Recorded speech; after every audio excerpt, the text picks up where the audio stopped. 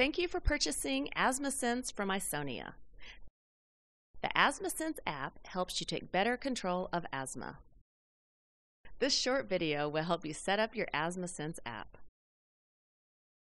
This is the AsthmaSense homepage.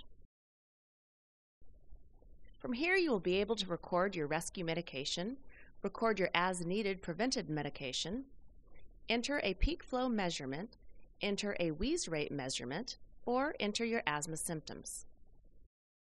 The navigation panel at the base of this app allows you to move between the Home page, Journal, Settings, Reminder, and Rescue tab. However, before you are able to use AsthmaSense, you will need to input some settings and information. To get started, we need to access the Settings tab. On the Settings page, you will enter your username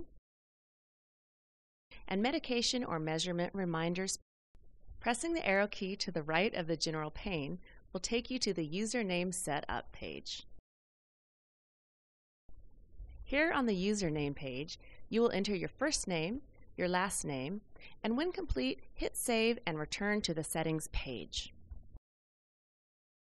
Next, you will be asked to enter important user information. Press the arrow next to the User Information pane. You'll be taken to the User Information screen where you will be asked to select measuring devices such as peak flow meter and Wheezometer. You'll also be asked to enter more information needed to measure and graph your results. Enter your birth date, next choose your gender, and then your height. Optionally, you can enter a personal best peak flow rate. Once you are done, tap the Settings button to return to the Settings screen. Now it's time to enter your maintenance medication. Tap on the arrow in the Medication and Measurement Reminders pane. A Medication and Measurement Reminder screen will appear. Here you can enter medication reminders, measurement reminders, rescue medications, or as needed prevented medication. Now let's enter a medication reminder by pressing the arrow in the Reminder pane. On this page you can enter your maintenance medications. Names of medications are found on the rotary encoder.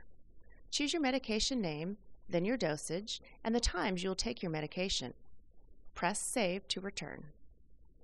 Using the same method, you will enter your measurement reminders, rescue medications, and as-needed medications. Once complete, you will find the item and the times you set to be reminded. Now press the Reminder tab on the navigation pane. On the Reminders page, you will first be asked to activate the ringtone. Choose a ring and turn on the notifications for the scheduled medications and measurement. Here you can also turn off the reminders. Now let's look at the rescue page. The rescue page allows you to quickly call 911 or by pressing Edit to enter other emergency numbers. Remember to hit Done to save your information. Now your AsthmaSense is off and running. At Isonea, our goal is to provide you the resources to better manage your asthma.